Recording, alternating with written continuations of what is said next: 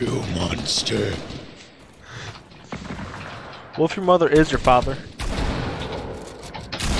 Then some very interesting stuff happened in your life. Hey, I wonder who this guy is up there. Hey, uh, buddy, how's it going? Yeah, I'm having a battle with your teammate over there.